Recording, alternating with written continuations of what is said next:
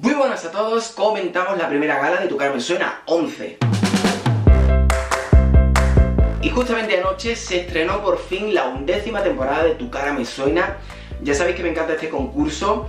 Y anoche vimos una gala inaugural bastante potente. Me divertí mucho, disfruté. Sí que es cierto que hubo como la mitad de concursantes que lo hicieron relativamente bien, incluso muy bien, y otros concursantes que lo hicieron un poquito regular, hubo un poco de todo, pero bueno, vamos actuación por actuación. Y comenzamos con Bustamante, David Bustamante, que imitó a Manuel Turizo, y en este caso mmm, creo que estuvo decente, fue de los que sí que intentaron acertar. Es cierto que yo sabía que con Bustamante su voz característica se, se iba a notar, ya veremos con el paso de las semanas, pero bueno, bastante bien a nivel de gesto, creo que fue de los que mejor aprovechó la actuación y en general mm, para mí fue más que correcto. Le voy a poner el 9. Seguimos ahora con la actuación de Raquel Sánchez Silva imitando nada más y nada menos que a Nebulosa con Zorra, nuestra representación en Eurovisión y para sorpresa lo hizo francamente bien. Empezó muy muy bien a nivel vocal, los gestos, la forma, la dicción, todo estuvo muy bien. Es cierto que según iba pasando eh, la canción se iba perdiendo un poquito el personaje, pero en general eh, yo valoro mucho en tu cara me suena que cuando ve la actuación me recuerde mucho a la aura del personaje y es que esta vez era igual los gestos, la intención, la forma de moverse, cómo disfrutó la propia Raquel genial, para mí fue la mejor de la noche sin duda alguna y yo le voy a dar el 12 directamente. Pasamos ahora con Miguel Lago que imitó a Elvis Presley y en este caso yo creo que estuvo relativamente decente. El jurado y el público le votó bastante mal, para mí no estuvo tan mal. Es cierto que Elvis puede ser un personaje muy parodiable por la voz que tiene y tal, él lo intentó hacer, le tocó un Elvis un poco raro porque cantaba como en español, pero con un acento muy raro. Pero dentro de lo que cabe a mí no me pareció una mala actuación, creo que hubo otros concursantes que ni siquiera llegaron a aparecerse, este por lo menos lo intentó. A mí, mmm, bueno, no estuvo mal, le voy a poner el 7. Pasamos ahora a la actuación de Conchita imitando nada más y nada menos que a Taylor Swift.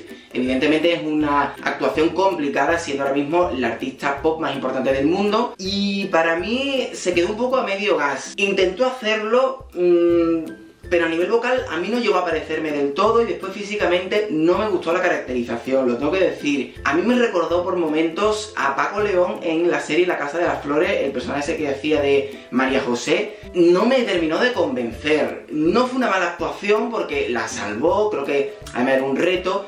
Mi punto de vista es que creo que Conchita tiene que salir del cascarón, tiene que liberarse un poco, no tener miedo a jugar, a divertirse y a partir de ahí ya hará buenas actuaciones. Yo le voy a dejar a la mitad de la tabla, le voy a poner el 8.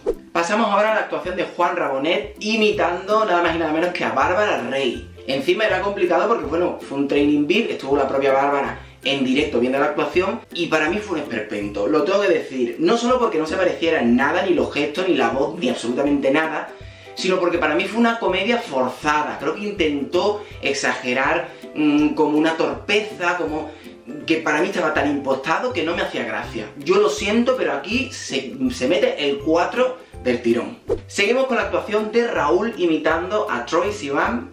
Y a mí me sorprendió muchísimo porque lo hizo espectacularmente bien. Raúl es un gran cantante y creo que va a dar muchísimo juego, no solo a nivel vocal, sino a nivel físico, las actuaciones. Creo que puede ser un concursante potente directo a la final, sin duda alguna. Pero es que creo que calcó todo la forma de moverse, la cara, la actitud, el conjunto, creo que fue una, una actuación muy redonda. Eh, por si, podría haber sido perfectamente el ganador de la noche. Yo le voy a dejar el 11, pero fue espectacular. Seguimos ahora con la actuación de Supreme Deluxe imitando a Bertín Osborne. Y bueno, puede parecer algo un poco imposible, pero realmente creo que salvó la actuación. Es cierto que yo esperaba un poquito más de Supreme, pero bueno, todavía falta mucha carrera por conocer durante toda esta semana en la gala. A mí me faltó una salida, me faltó un punto parodia, porque creo que Bertín puede ser un personaje que se puede exagerar un poco sin caer en algo muy excesivo.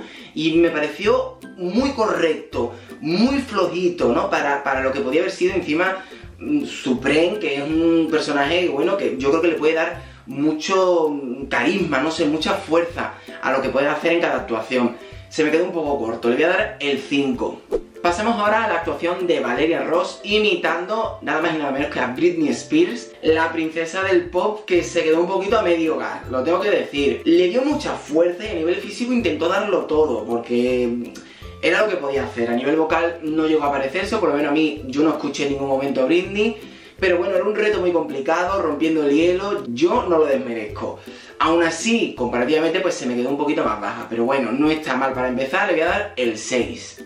Y cerramos con la última actuación de la noche, Julia Medina imitando a Laura Pausini. Cuidado, son palabras mayores y en este caso lo hizo espectacularmente bien, muy muy parecido a la original y fue la ganadora de la noche. Yo creo que fue merecidamente, sinceramente, porque lo hizo muy bien. Yo en mi caso le voy a dejar con el 10, que estuvo muy bien. Ha sido muy difícil dividir los puntos eh, entre las posiciones altas porque me han gustado todas, pero bueno, yo creo que Julia nos va a dar grandísimas noches en las diferentes semanas de Tu cara me suena y seguramente que no va a faltar mucho para que le dé mi 12, pero hoy se queda, ya digo, con el 10.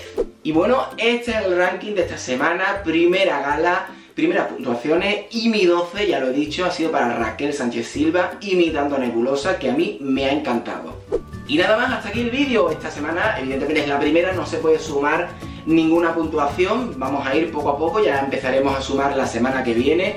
Y como siempre podéis comentar vuestras sensaciones, vuestras puntuaciones, vuestro ranking, todo lo que queráis en los comentarios. Si os gusta el vídeo podéis dar por supuesto, un gesto sencillo que me estáis ayudando, como también suscribiros al canal y darle a la campanita para que os llegue absolutamente todo y no os perdáis los vídeos semanales de Tu cara me suena ni nada de Eurovisión. Nos seguimos viendo como siempre aquí en Random Spain Blog.